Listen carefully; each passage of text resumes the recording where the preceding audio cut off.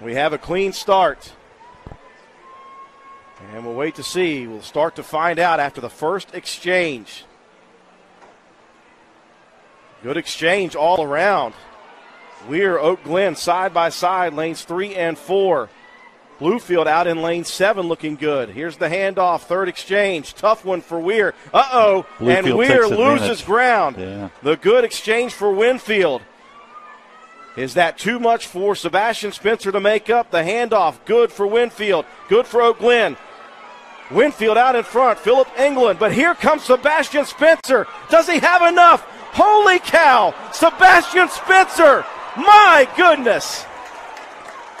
Wow. A terrible exchange from runners two to three. Jake McCoy hung up for an extra second and a half, and all of the sudden you watch You want to run Sebastian. Spencer takes the exchange in seventh place, and look at him go in lane four. Unreal.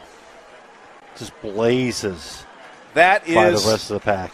insanely good for Sebastian Spencer. And watch what he does when he